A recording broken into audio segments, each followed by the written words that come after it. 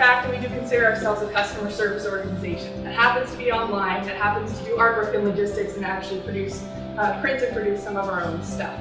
But so the entire customer experience is important to us. So as a visitor, you'll come to, this is one of the new things, redesigned website that we've got. We're now making it even easier for you to browse products, access our design lab and all of our artwork and fonts, check out templates if you'd like to leverage somebody else's creative muscle, uh, read more about us, actually check on your order or create an account, and now actually even access Booster. Reno and then continuing to expand Reno is huge.